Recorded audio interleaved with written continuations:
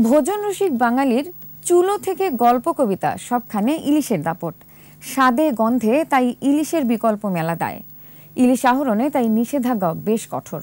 বিশেষজ্ঞদের আশা, এতে উৎপাদন যেমন বাড়বে, তেমনি দেখা মিলবে কাঙ্ক্ষিত ইলিশের। মফিউর রহমানের রিপোর্ট।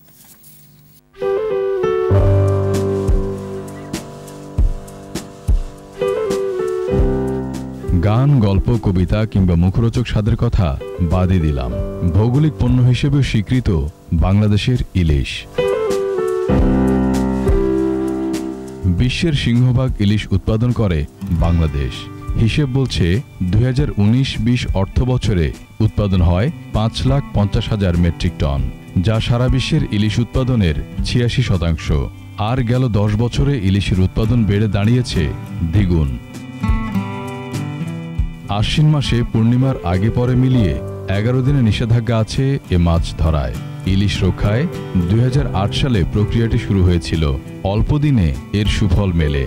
গবেষণায় উঠে আসে, শুধু পূর্ণিমায় নয়, এই সময়ে অমাবস্যাতেও ডিম ছাড়ে ইলিশ। যে কারণে পূর্ণিমার সঙ্গে অমাবস্যা মিলিয়ে টানা বাইশ দিনের নিষেধাজ্ঞা আসে। এই সময় আমরা দেখেছি যে মা ইলিশ সবচেয়ে পরিপক্ক থাকে। এখান থেকে বাইশ দিন যদি আমরা বন্ধ করে দেই তাহলে কি হবে? যে মাছগুলো পরিপক্ক মা মাছগুলি তারা ডিম ছাড়ার সুযোগ পাবে। আবার এই বাইশ দিনের মধ্যে যারা পরিপক্ক নয় তারাও কিন্তু কনসিকুয়েন্টলি পরিপক্কতা পাবে বাইশ দিন পরে।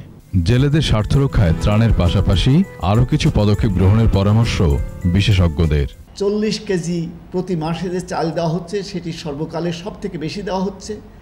আমি মনে করি এর সাথে এই বিশ দিনের জন্য আরও পনেরোশো টাকা যদি দেওয়া হতো তাহলে জেলে সম্প্রদায়ের যে আজ কষ্ট সেটি থাকতো না এবং তারা আর এই আইন ভাঙার প্রতি আগ্রহী হতো না। মৎস্য আহরণের প্রায় বারো শতাংশ মেটায় ইলিশ। দেশের প্রায় বারো থেকে তেরো শতাংশ যে মাছের যে উৎপাদন সেটা কিন্তু ই- ইলিশ একা দিচ্ছে অর্থাৎ এদিক দিয়ে এটা সর্বাপেক্ষা গুরুত্বপূর্ণ একটা মৎস্য উপাদান আমরা বলতে পারি। রপ্তানি ইলিশে ভাগ্য বদলেছে অনেকের। ইলিশ সারা বাংলাদেশের চাহিদা মেটাতে সক্ষম সেই সাথে সাথে কিয়দংশ আমরা বন্ধু প্রতিম প্রতিদেশী প্রতিবেশীকে দিতে পারছি এমনকি বাইরেও প্রয়োজনে কিছু কিছু পরিমাণ এক্সপোর্ট করতে পারছি। ইলিশের উৎপাদন বৃদ্ধিতে আরও বেশি গবেষণা প্রয়োজন দাবি তাদের। মফিউর রহমান একুশে টেলিভিশন ঢাকা।